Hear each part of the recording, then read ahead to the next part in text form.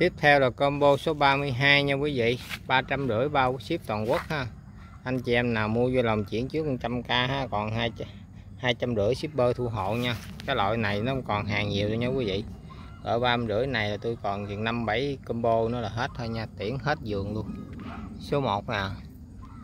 Gỡ bỏ cái mắt lá này ra cho nó thoáng coi. Đó. Về thu nhỏ vô cái chậu thành cây cổ thụ gom nhỏ.